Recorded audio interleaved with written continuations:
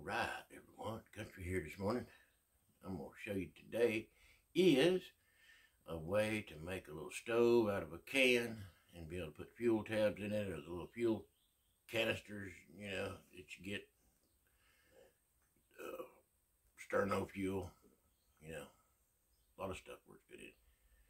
Or if uh, you don't have any fuel, you can also just drop sticks in there and burn sticks too. So. And you know, I, I, see a lot of stuff on YouTube lately about it, hobo this and hobo that and whatever. You know, well, a lot of people think hobos are just bums that run around riding trains and all that kind of stuff. They weren't. They were migrant workers, and uh, they had a code of ethics, and they had camps of their own where they would camp and they would work at these places. You know, day do some day labor stuff, and uh, you know, it, stuff that happened during the 20s and 30s. A lot of these guys that they had families and they traveled all over the place. Made a little money and sent it home just to way to take care of their family during the depression and all. So, so it wasn't quite what people think, but anyway, they don't. You know, people try to tell you that well, this is what hobos done. You know, but you know, they didn't. They didn't know that stuff when they was out having to live off the land and travel from place to place. They learned that, and this was stuff that we just call backwoods skills. It's just taking what you got and making something out of it and making it work. So, anyway, y'all stick around and I will show you how to make this little stove.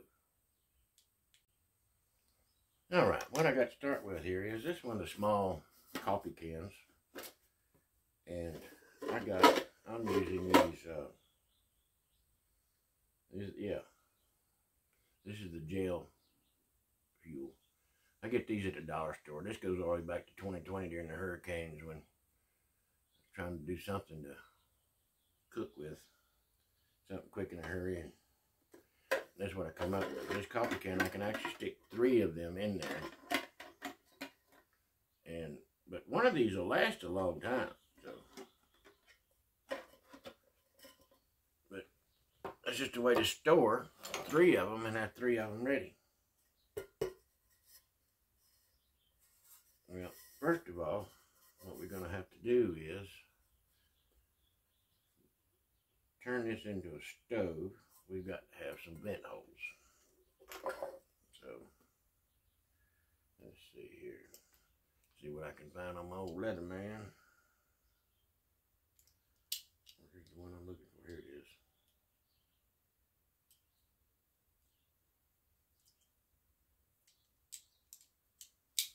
You're to have vent holes around the bottom. Fire's got to be able to breathe. So, got some of this little label and some of this little glue on there. Ain't to matter. When you're doing any of this cutting or anything, just make sure you see the seam on the can. You don't want to you don't want to cut into that. You want to skip around. So let me see. I got a marker here. What I want to do is I want to not that I'm being OCD or anything about this, but I just want to spread these out. Kind of make them even.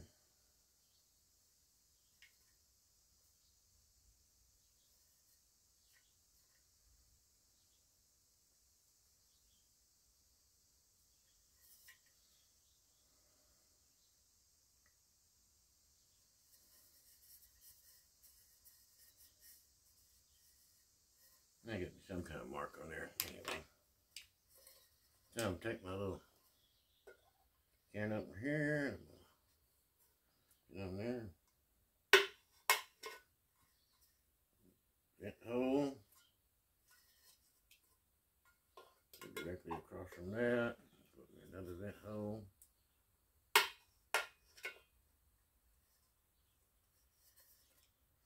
Now, if you have a church key, you can do a good job on one of these too.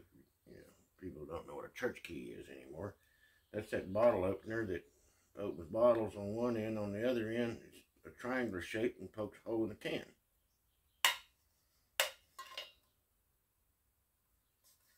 Church key, you can make triangular shaped holes in this, but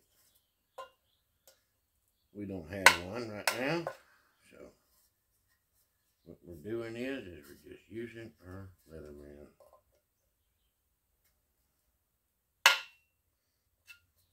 Leatherman. gonna do in the backwoods anyway.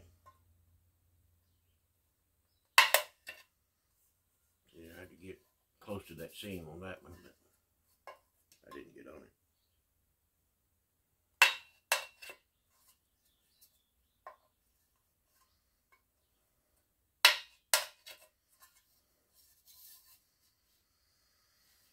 Okay, that ought to be enough vent holes. The next thing I'm going to do is I'm going to set my little fuel canister there. Let me see, make sure I'm not in the seam now. Turn around, I'm going to make me a mark where the top of that is.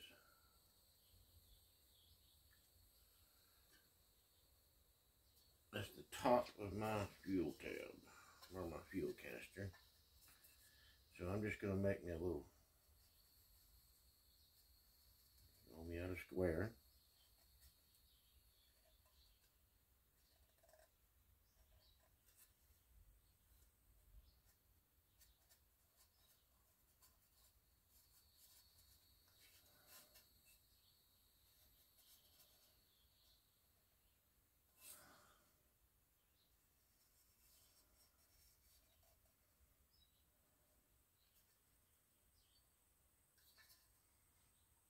something about like that.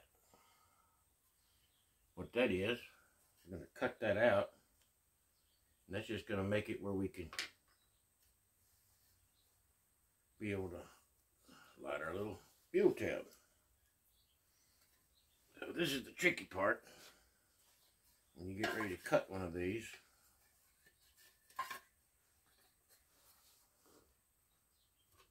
find you a piece of wood or something to stick it, have some kind of backing.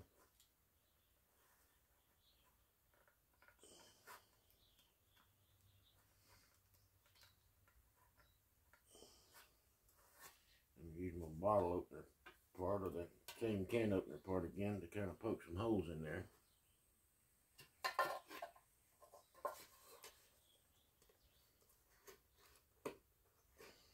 Get me started.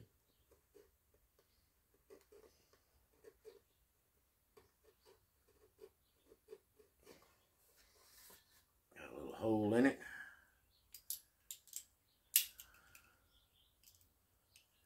And pull out that old blade. I'm not going to need that, oh, that big mallet no more.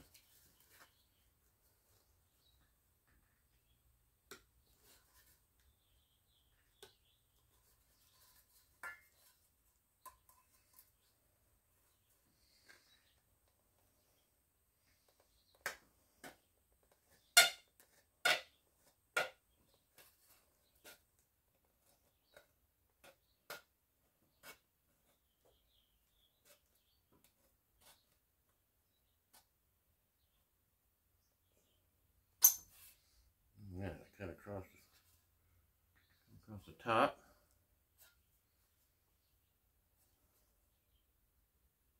Yeah, I think what I'm gonna do is I'm gonna go ahead and cut across the bottom again. Poke me a hole, cut across the bottom, and I'll save my sides of that for last. Just gonna try to do this like this so I don't I don't distort the metal too much.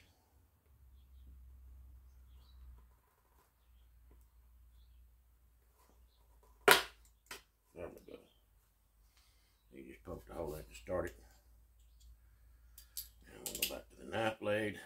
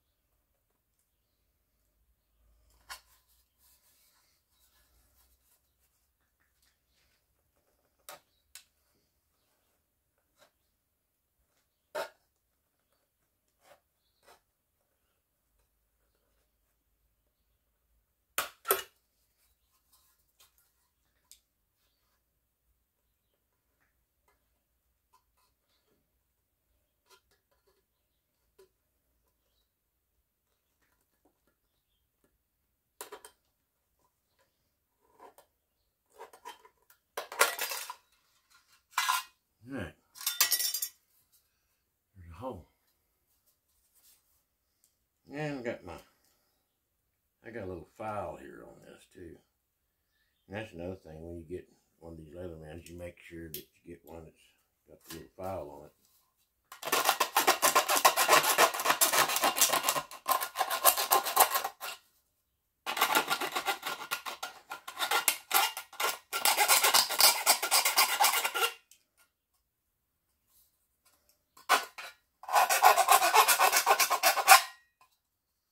Just kind of cleaned it up a little bit. Yeah, put one of the fuel canisters down in there then. See how that fits. It fits like that. And right there at the top. Got, got a fuel canister in there. You got heat. Next thing is, you're going to need something to go across top here. To hold your pot up there, hold your cup up there, whatever kind of need kind of a little grate on it. And what this is, this is plumber's tape. Take this plumber's tape.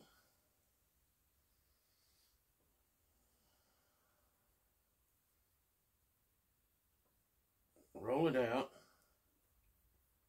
I want to make mine about as long as this can, no longer than this can, because these are going to go down inside. And that's how I'm going to carry them we're gonna make two of these. So I gotta, I gotta kind of flatten this out. I'm gonna go over here and beat on something and flatten this out.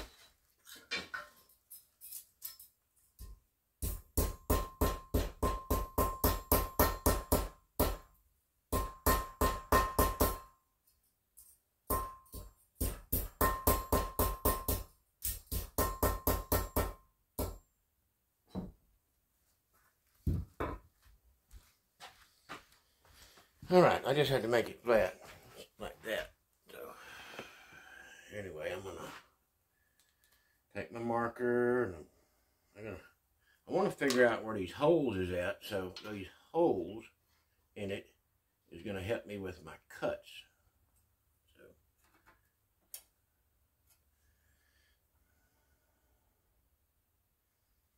Thing I want to do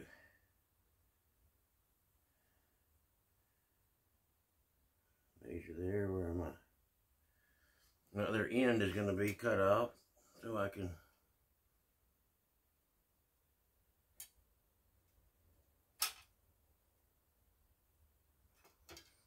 you looks like no matter what I do it's going to be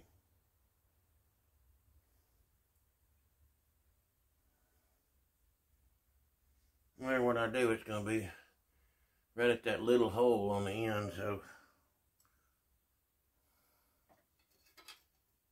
way to arrange it so it doesn't come out that way. So, so we'll just go ahead and make it come out that way. Then I put this up there. Now we're going to have then we'll make a little cut there. Make a little cut right there. That'll be perfect. So,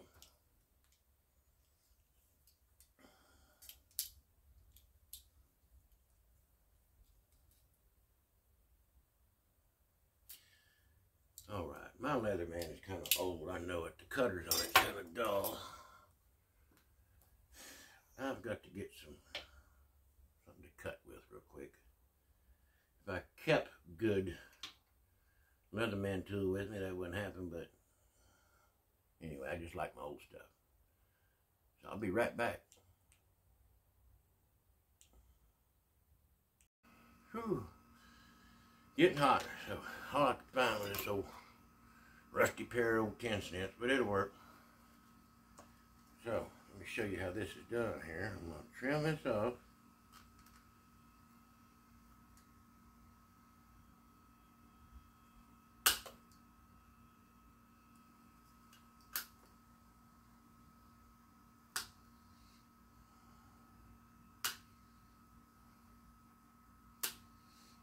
And I'm just snipping need the little corners off of that too as I cut. We don't want to leave anything that's going to cause me to get cut.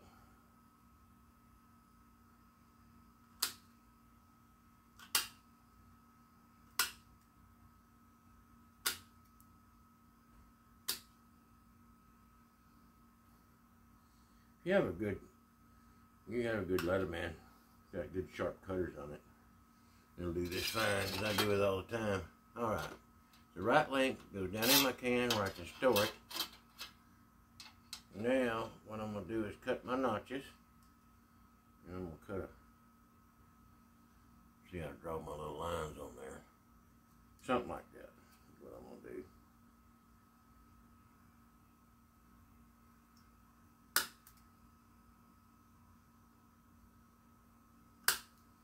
What I'm what I'm doing is see I'm cutting out just a a little sliver of it to where it will hook on that can.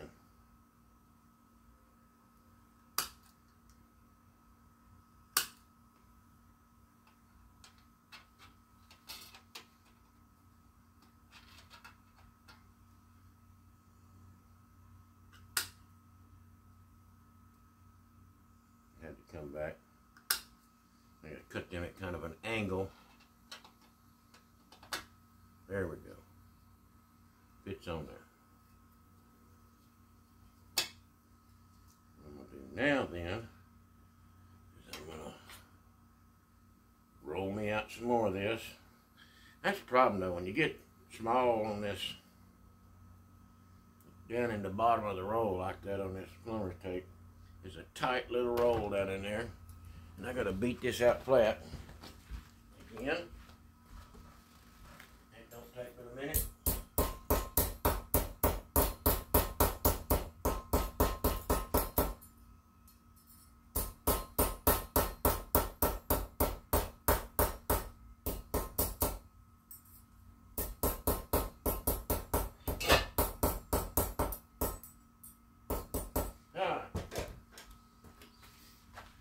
Got that all beat out.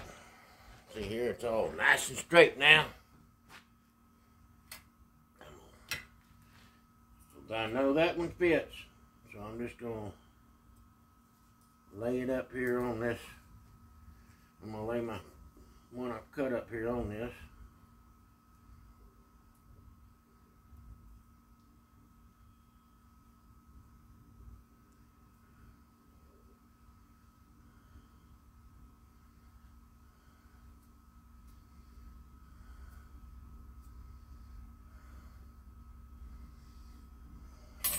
Lay the marker down. Right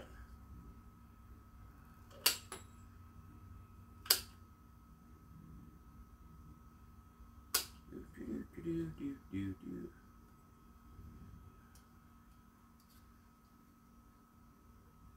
Cut that off.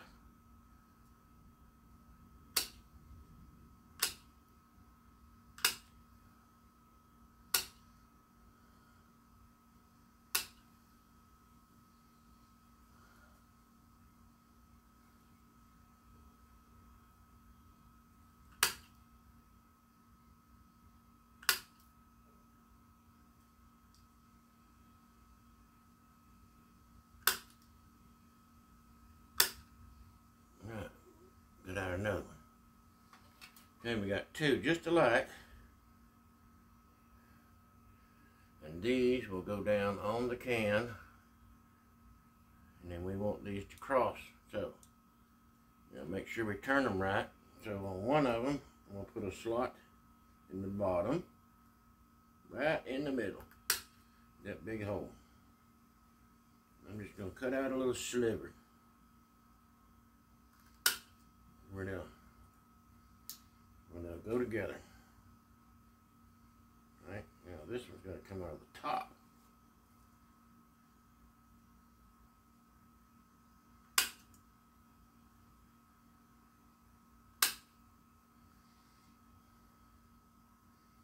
You can always eat bend a little bit. You can always maneuver it around. See there, there we go. And that's your grate for the top.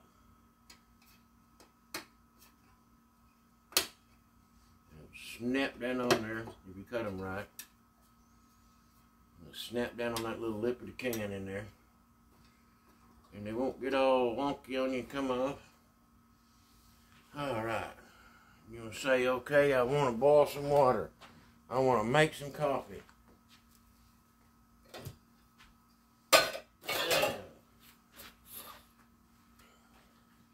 I got another can. Got another one of my bean cans saved. And this one right here then. You always you always clean these up now. These modern cans, they'll have a plastic liner in there. And you always put them in the fire and you burn them a little bit. Clean all that. Get all of that old plastic off of it. You want everything's got to be burned and cleaned up. It's not it's not pure metal anymore. So it's not a tin. So clean that up, remember, first. Burn it. And that right there is my coffee cup. I can put water in it and boil it. Or I can boil the water to purify it to drink. That's my cup. That's everything. And you have a little opening here. You light your fuel. When done, you blow it out. We get ready to move on then. We're moving on to another camp.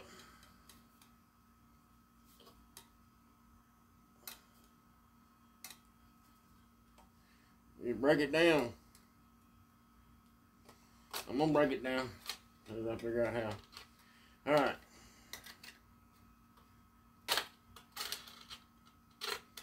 Like I said, they get bent up a little bit. That's alright. It's easy to bend. You can straight.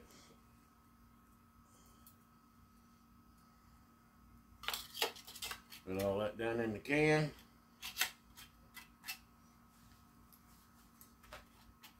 Might need to trim on that one just a little bit. Yeah, because it's a little bit longer than that other one. After I measured it off like that, it's a little bit longer.